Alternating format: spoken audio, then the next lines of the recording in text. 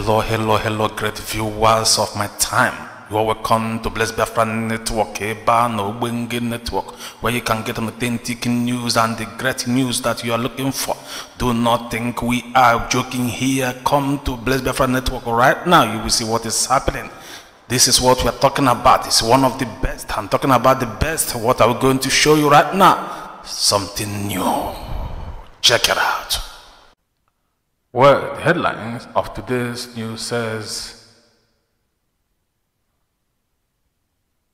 We are in trouble. Nigerian unity is questionable. Goodluck, Hebere Jonathan. Now, before I go on with the news in detail, I will say please press the bell icon so that you'll be notified anytime we have news or video. And also the red subscribe button is very important. Now let's go on with the news in detail. Ordinarily, the national youth body is supposed to be stronger than the region than the regional youth body. Former President of Nigeria, Goodluck Jonathan, has said the unity of Nigeria is questionable. According to Jonathan, he stated this while speaking during an exclusive command performance by the Port Harcourt Mayor Ensemble International tagged Peace for All Nations at the Ministry of Foreign Affairs, Abuja. He stated that Nigerian youth sometimes engage in all kinds of confrontation, recalling his conversation with one of his friends. And I was discussing with somebody, one of my friends, and I said, Look, in Nigeria, they appear not to even have a national youth body because, in most cases, the regional youth bodies are stronger than the national youth bodies. Ordinarily, ordinarily the national youth body is supposed to be stronger than the regional youth body. If you go to my state, Bayelsa State, for example, if I am a national member of Nigerian Youth Council, the IYC, Ijaw Youth Council, feels that they are your boss. If you go to the southwest and to the north, the Arewa Youth Group, they feel they are superior to the national youth body. If you go to the southwest, the same thing. If you go to the southeast, the same thing. That shows clearly that as a nation, we are in trouble. The unity of the country is questionable. Jonathan said.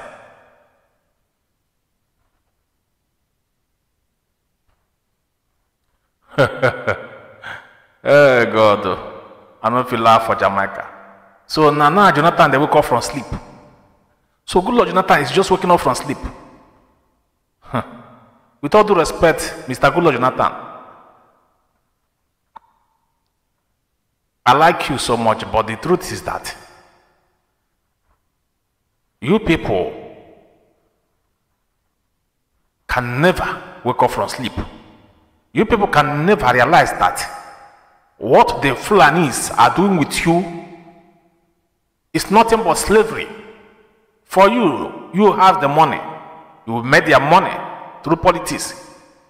Your children are now rich just like every other children of politicians in Nigeria, the governors, the ministers, the senators, all of them all, all the guy them crazy people that call themselves politicians.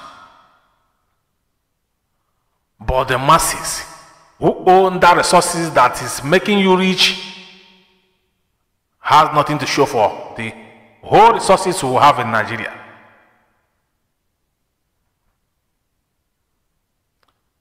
You were there as a president. You couldn't do anything for your people. You didn't do anything for your people. I can feel your plight. Maybe you were so much tight that to the extent you can't even make or shake your body. They use diet and spagulu because that is how it is. That's how they roll there. It doesn't matter who you are. Once you get to that Aso rock, you are finished. The Fulani will use you for crayfish, for bongo pepper soup. Golo Jonathan was a president. He did not do anything for his people. No good road. He was busy doing everything in the north.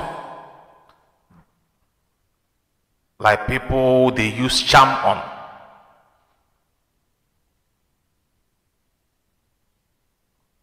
Well, for him, he tried. And for some people there, he tried. The only thing I know that good Jonathan did is that through his own tenor, nobody was being killed by Fulani or whatever. Nobody was being killed by the so-called soldiers he used the soldiers where no innocent person was being killed by soldiers. He used the, the soldiers well. Nobody was complaining about killing, about death.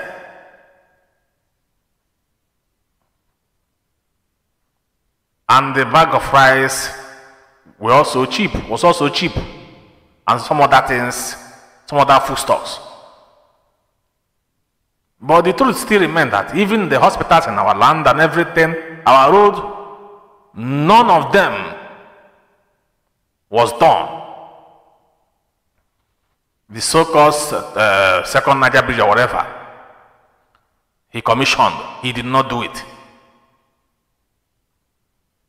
Sometimes I ask myself a question, is these people really doing this thing with their eyes or are they charmed? How can a South president, instead of him to do something important for the people, he's busy building a Almajiri school in the north.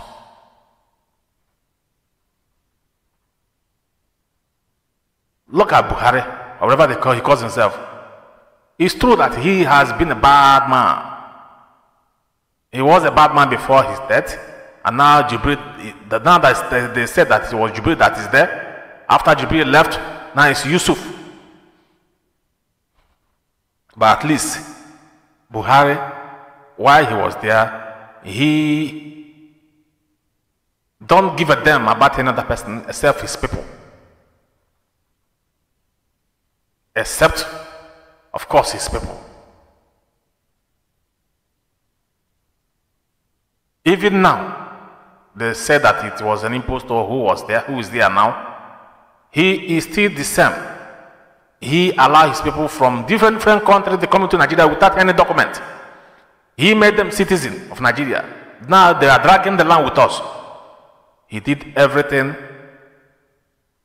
He is building railway station to Niger, a country that will have nothing to do with. He is building railway station to Niger with borrowed money, with our resources.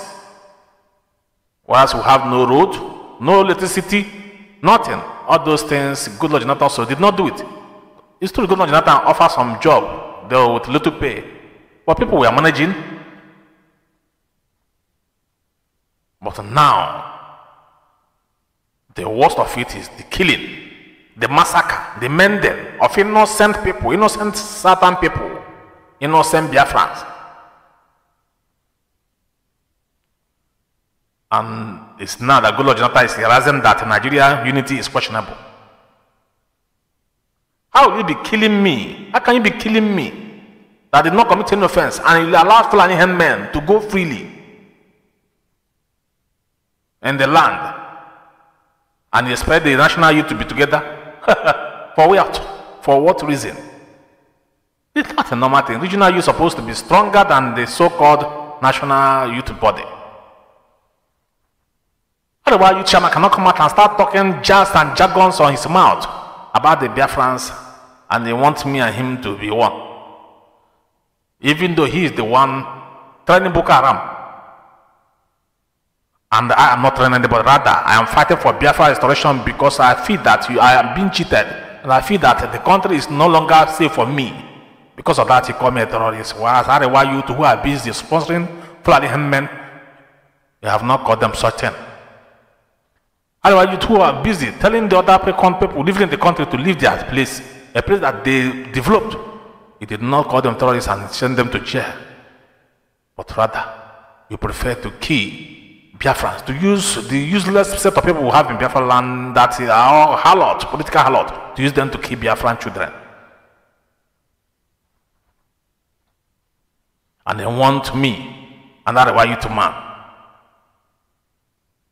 to be one. this is very funny. Please, Mr. Goodluck Jonathan. They have to stop. If maybe they are trying to bring you back to become a president, shun them, don't be. He cannot afford anything for us. He cannot offer us anything. They will stay tight here again. You continue to build the railway station until you build even to the flyover to Niger. We are sick and tired of all this whole.